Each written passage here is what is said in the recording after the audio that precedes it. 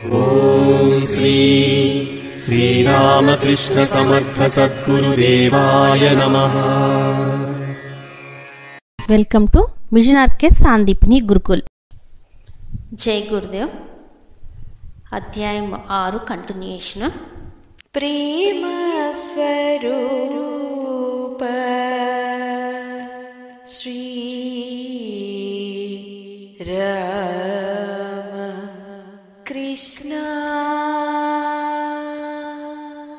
ఈరోజు టాపిక్ శ్రద్ధ విశ్వాసము. భవానీ శంకరం వందే శ్రద్ధ విశ్వాస రూపిణో అని కదా పెద్దలంటారు. శ్రద్ధ విశ్వాసము రెండు మానవ జీవితానికి ఆధారభూతమైన సత్యాలు. ఇక్కడ విశ్వాసము అంటే మనకు అనుభవము లేని విషయము మీద మనకు నమ్మకమున్న వ్యక్తి చెప్పిన మాటలు విని ఆచరిస్తాము విశ్వసిస్తాము. కానీ అది మన అనుభూతిలో ఉండదు. మనం ఏ వ్యక్తినైతే నమ్ముతామో ఆ వ్యక్తి చెప్పిన దానిని కార్యరూపంలో పెట్టడానికి ప్రయత్నిస్తాం. అది విశ్వాసం. కానీ గురువులు కోరుకునేది విశ్వాసము కాదు శ్రద్ధ. సాధకులు ఇక్కడ విశ్వాసానికి శ్రద్ధకు మధ్య గల తేడాను గుర్తించుకోవాలి.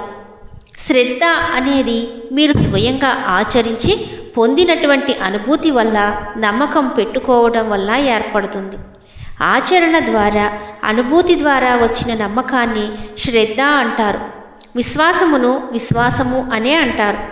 భారతదేశంలో గురుస్థానం వహించే వ్యక్తికి ఆచార్యపీఠం అలంకరించే వ్యక్తికి రెండు లక్షణాలుండాలి ఒకటి తను అనుభూతి చెందిన విషయాలను సాధనల ద్వారా శిష్యునికి చెప్పటం. శిష్యుడు దానిని అనుభూతి చెంది గురువు చెప్పినవన్నీ సత్యాలినని నమ్మకం పెట్టుకొని శ్రద్ధాపూరిత అంతఃకరణతో గురువుకు సమర్పణ చేసుకోవటం ఇది శ్రద్ధ.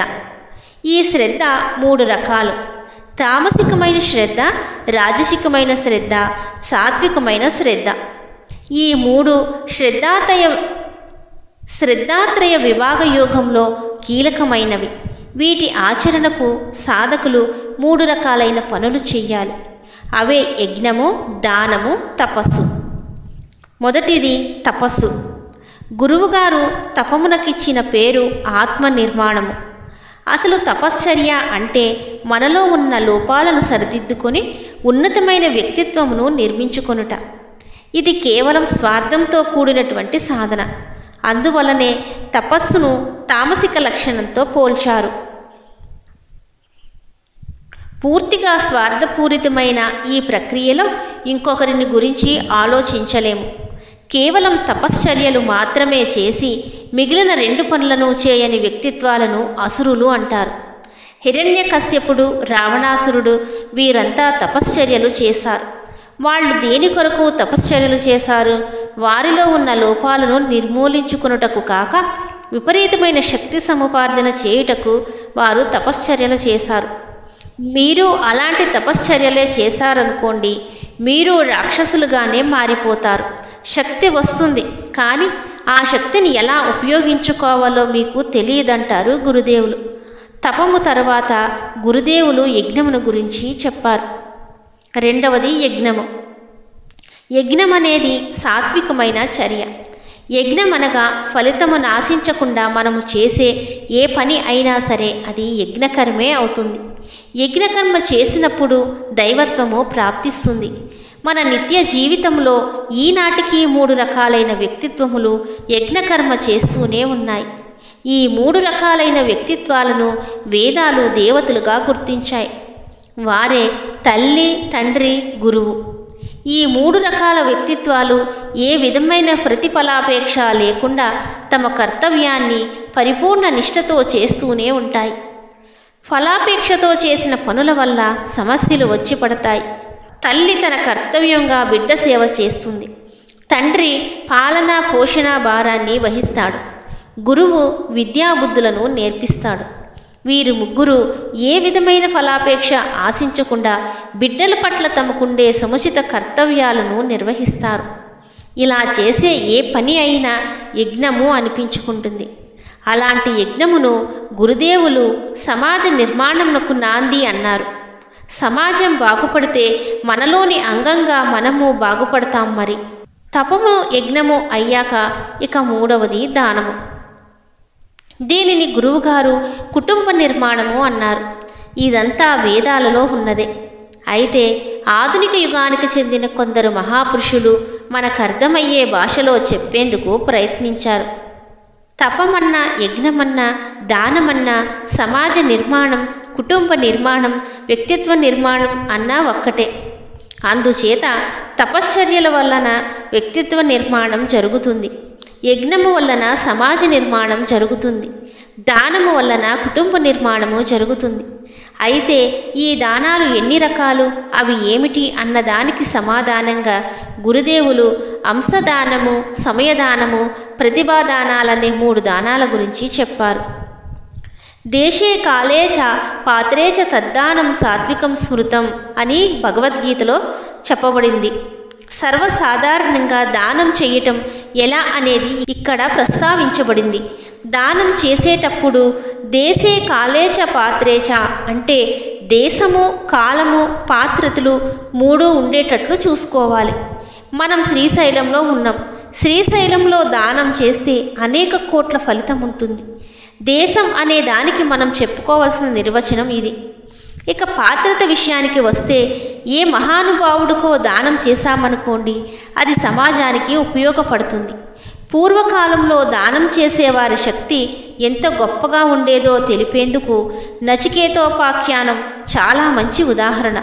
కాబట్టి ఈనాటి దేశే కాలేచ పాత్రేచ అన్నదానికి సాత్విక దానంగా అంశదానము సమయదానము తప్ప మిగిలిన ఏ దానము చేసిన ఫలితం ఎలా ఉంటుందో మీకు తెలుసు. కాబట్టి తపము యజ్ఞము దానములనే వాటిని పూజ్య గురుదేవులు దేశ కాల పరిస్థితులను బట్టి సమయదాన అంశదాన ప్రతిభాదానాలుగా రూపొందించి ఆచరణ యోగ్యం చేశారు. ఇంకా ఈ శిబిరంలో భవిష్యత్తులో చేయబోయే కార్యక్రమాలకు కావలసిన శక్తి సముపార్జన కొరకు అందరి చేత సామూహిక మంత్రజపం ఉదయాన్నే యోగాసనాలతో పాటు మనోమయ కోశానికి సంబంధించిన కొన్ని విశిష్ట ప్రయోగాలు శ్రీ రత్నాకర్ సీతారాం గారు చేయించారు. శ్రీ రామసుబ్బయ్య అంజనీ కుమార్ గారు శిబిర నిర్వహణ బాధ్యతను స్వీకరించారు. కాల నిర్ణయ పట్టిక ప్రకారం జరగవలసిన కార్యక్రమాలను మాస్టర్ గారి ప్రవచనాలతోనూ ఇంకా పలువురు సీనియర్ కార్యకర్తలైన చీరాల సుబ్బారావు గారు కామాక్షి శైలజ వాళ్ళతో కొన్ని ప్రవచనాలు చెప్పిస్తూ అందరిలో ఒక నూతన ఉత్సాహాన్ని తెప్పించేవారు. యువ పరివారు తేజశ్రీ వల్లి భువన సుమ ఉమా ఉషా లాంటి పిల్లలు యుగ సంగీతం పాడటం ఉదయాన యోగాసనాలు నేర్పించటం లాంటివి చేస్తూ ఎంతో సరదాగా సాధనా క్యాంపులలో తిరుగుతూ ఆ వాతావరణంలోని దివ్యత్వాన్ని అనుభూతి చెందుతూ ఉండేవారు. సాధనా క్యాంప్ అంటే ముక్కు మూసుకుని కూర్చోనే విధానం వలె కాకుండా ఆ జ్ఞానానుభూతిని అత్యంత సరళంగా అందరికీ అందించటం అనేది మాస్టర్ గారి ప్రత్యేకత. శ్రీశైలంలో జరిగిన ఈ శిబిరం భవిష్య ప్రణాళికలకు ఒక లైట్ హౌస్ వలె ఎంతో ప్రయోజనాన్ని ప్రసాదించింది. వివేకానంద జయంతి. సాధారణంగా ప్రతి సంవత్సరం వివేకానంద జయంతి కార్యక్రమాలు ఎక్కడో ఒక చోట జరుగుతూ ఉంటాయి.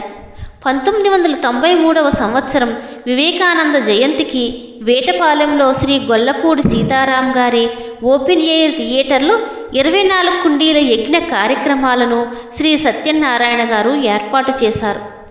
ఆ త్రి దివసీయ యజ్ఞ ప్రణాళికలో పూజ్య శ్రీ మాస్టర్ గారు శ్రీ వివేకానంద స్వామి శ్రీ రామకృష్ణ మిషన్ యొక్క ప్రాచుర్యాన్ని దశ దిశలా వ్యాప్తి చేయటానికి చేసిన కృషి గురించి పరమాద్భుతంగా వివరించారు.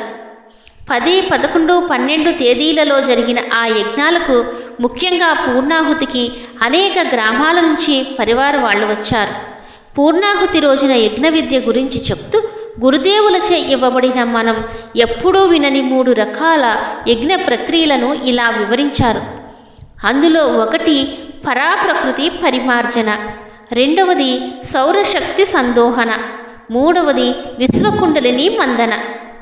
ఈ మూడు యజ్ఞాలలో మొదటి రెండు యజ్ఞాలు మాత్రమే మనం సుసంపన్నం చేయగలిగాం.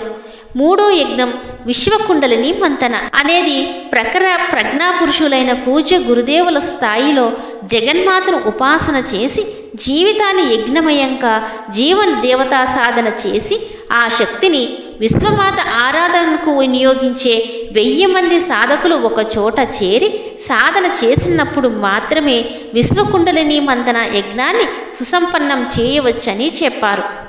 ఎంతో వైభవంగా ఆ కార్యక్రమాలను నిర్వహిస్తున్న శ్రీ జి సీతారాం శ్రీ కృష్ణమూర్తి గారు మాస్టర్ గారు వివరిస్తున్న ఆ యజ్ఞాలను గురించి వింటూ మనం చేయగలమా అని ఆలోచిస్తున్నారు. ఇంతలో ఒంగోలు నుంచి వచ్చిన పరివార వాళ్ళందరూ ఆ ప్రవచనాన్ని వింటూనే అనిర్వచనీయమైన ఆనందంతో మాస్టర్ గారి దగ్గరకు వచ్చి మాస్టారు మేము పరాప్రకృతి పరిమార్జన యజ్ఞం చేస్తామంటూ మాస్టర్ గారి అనుమతిని కోరారు. ఆ తర్వాత వేటపాలెం వారు అంతే ఉత్సాహంతో వచ్చి సౌరశక్తి సందోహర యజ్ఞం మేము చేస్తామంటూ ముందుకు వచ్చారు. చిత్రం ఏమిటంటే ఎవరికీ అసలు ఆ యజ్ఞాల గురించి పూర్వాపరాలేమీ తెలియవు. ఏమీ తెలియకుండానే ఆ యజ్ఞ కార్యక్రమాలను భగవతి ప్రేరణగా స్వీకరించారేమో ఆనాడు. అదంతా మహాత్ములైన మాస్టర్ గారి అనంత కృపా కటాక్ష ఆశీర్వాదాలేననిపిస్తుంది పూజ్య శ్రీ మాస్టర్ గారు వారి ప్రతిపాదనలను విన్నారు. తరువాత కాస్త నిదానంగా ఈ విషయాన్ని ముందు మాతాజీకి వివరంగా వ్రాసి ఆమె అనుమతి పొందాకే యజ్ఞాల గురించి ఆలోచిద్దాం అన్నారు తరువాత మళ్ళీ అన్నారు ఈ రెండు యజ్ఞాలను చేయటానికి ఋషులు చేసిన సాధనా విధానాలను అనుసరించి ఏ ఋషి ఎంత సాధన చేశారనేది త్వరలోనే వివరంగా పంపుతాను. మీరా సాధనను వ్యక్తిగతంగా కానీ సామూహికంగా కానీ చేసి జప సంఖ్య మాతాజీకి నాకు ఉత్తరాల ద్వారా తెలియచేయండి. దానిని బట్టి యజ్ఞాలు చేసే తారీఖులను నిర్ణయిద్దాం అని చెప్పి ఆనాటి కార్యక్రమాన్ని ముగించారు.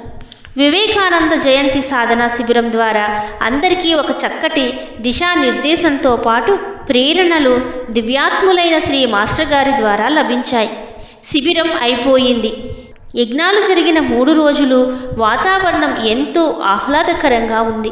అది జనవరి నెల కాస్త చలిగానే ఉంటుంది. అందులోనూ విపరీతమైన మబ్బులు సన్నని చిరుజల్లు కురుస్తుండగా మలయ మారుతంలాగా వీచే గాలులతో ఒక దివ్యమైన వాతావరణం ఏర్పడింది. కార్యక్రమాలంతా అయిపోయి అందరూ విశ్రాంతిగా కూర్చున్న సమయంలో అందరూ కార్యక్రమాల గురించిన కబుర్లు చెప్పుకుంటున్నారు. ఇంతలో శ్రీ రామసుబ్బయ్య గారు ఆర్కే నన్ను హిమాలయాలకు తీసుకువెళ్ళమని అడుగుతుండేవాడిని కదా. ఆ హిమాలయాల వాతావరణం ఇక్కడికి ఎలా వచ్చింది? అక్కడికి వెళ్ళాలనే కోరికను ఇక్కడే తీర్చేశావా? అన్నారు. సరదాగానే అయినా అది యథార్థం కనుక ఆనందంగానే అడిగారు. మాస్టర్ ఏం చెప్తారా? అని అందరం అటే చూస్తున్నాం. మాస్టర్ గారు మాత్రం ఏమాత్రం తొనక్కుండా ఉల్లాసంగా చిరునవ్వుతో అంతేగా మరి అంటూ ఆ ఆనందాన్ని అనుభూతిని ప్రకటించారు. శిబిరం అయిపోయిన తరువాత మూడు రోజులున్నారు. అప్పుడు పంచకోశ సాధనను ఉత్సాహవంతులైన కొంతమంది సాధకులకు మాత్రమే నేర్పించారు. ఇంతటితో అధ్యాయం ఆరు కంప్లీట్ అయిందండి.